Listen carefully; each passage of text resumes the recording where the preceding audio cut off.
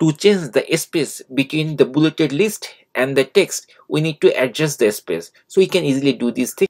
Here we must need the scale in Google Docs before trying to do this thing.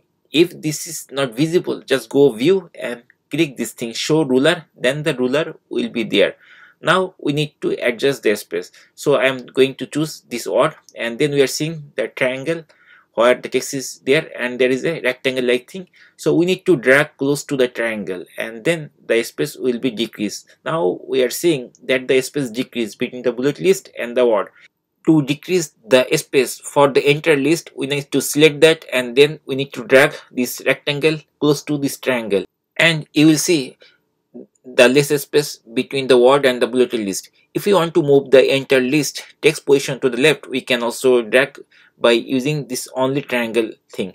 So I'm going to select the entire list and moving to the towards the left and then the entire list shifted to left side. Here I showed you only the bulleted list. For number list, just apply the same procedure and you will find the exact result.